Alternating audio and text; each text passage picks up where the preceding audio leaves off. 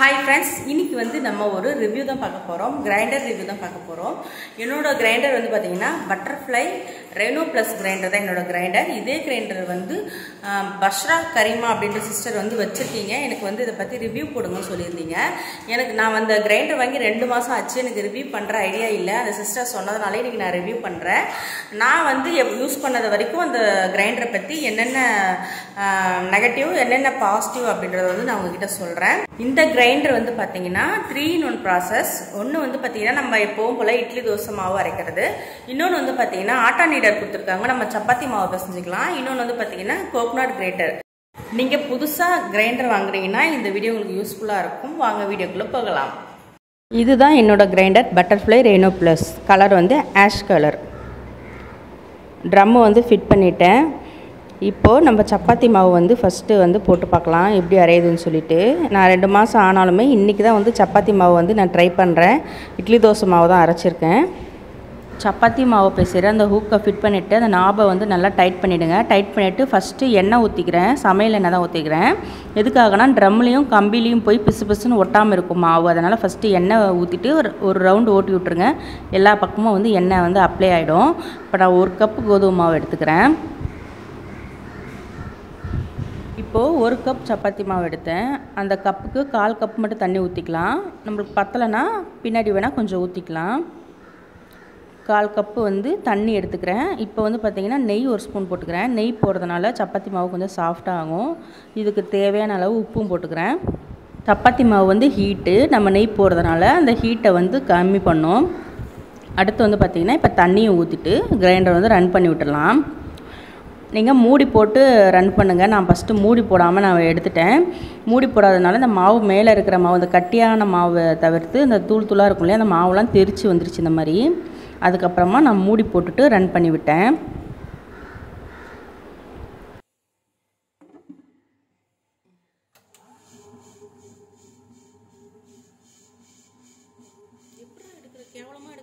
எல்லா மாவும் மிக்ஸ் ஆகி வரும்போது மூடியை திறந்துட்டு எல்லாத்தையும் வந்து நம்ம எடுத்து விடலாம். மேலே வரைக்கும் மாவு வந்திருக்கும். அதெல்லாம் எடுத்து விட்டுட்டு திருப்பி மூடி போட்டு ரன் பண்ணி விட்டுருவோம்.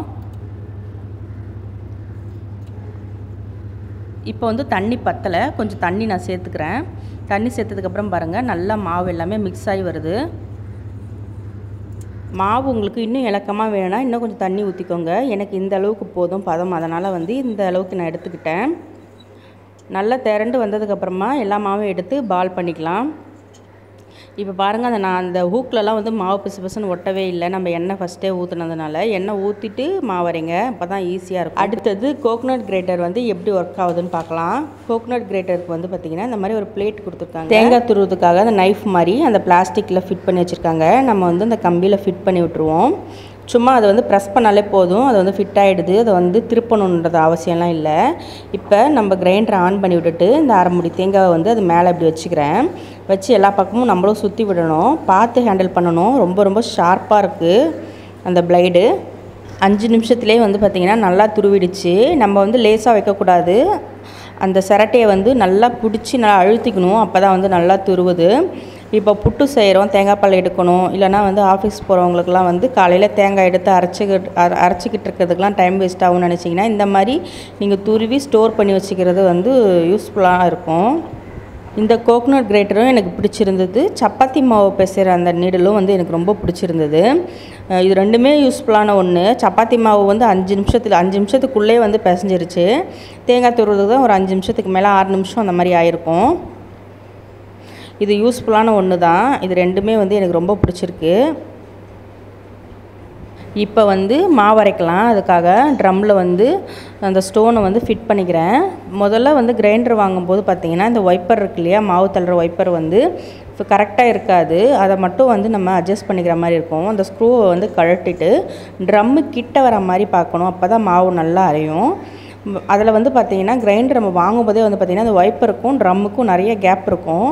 ஸ்டார்டிங்கில் அரைக்கும்போது மாவு அரைக்காது சரியாக நம்ம வந்து அதை அட்ஜஸ்ட் பண்ணி அந்த பாருங்கள் ஒரு கால் இன்ச்சை விட கம்மியாக தான் இருக்கணும். அந்த ட்ரம்மை ஒட்டி. அதேமாதிரி ட்ரம்முலையும் தேய்க்கக்கூடாது நம்ம அதை வச்சுட்டு ட்ரம்மை வந்து சுற்றி பார்க்கணும். நல்லா ரோல் ஆகுதான்ட்டு. ஸோ ரோல் ஆனதுக்கப்புறம் அதை ஃபிட் பண்ணி விட்டுட்டா தான் வந்து நல்லா மாவரையும் இப்போ வந்து பார்த்திங்கன்னா அந்த நாப்பையும் ஃபிட் பண்ணிவிட்டு நான் வந்து மாவு அரைக்க ஆரம்பிச்சிடுறேன். தோசை மாவு தான் அரைக்கிறேன். தோசை மாவு அரைச்சிட்டு இதில் ஒரு நெகட்டிவ் பாயிண்ட் இருக்குது அதை நான் சொல்கிறேன் நல்லா நைஸாக அரையுது மாவு. ஃபஸ்ட்டு வாங்கும்போது அந்த வைப்பர் தள்ளி இருந்தது எனக்கும். ஃபஸ்ட்டு மாவு அரைச்சிட்டேன். அரைச்சி பார்த்தேன். சரியாக அரையலை. அப்புறம் அதை வந்து அட்ஜஸ்ட்மெண்ட் பண்ணதுக்கப்புறம் தான் எனக்குமே மாவு நல்லா அரைச்சிது.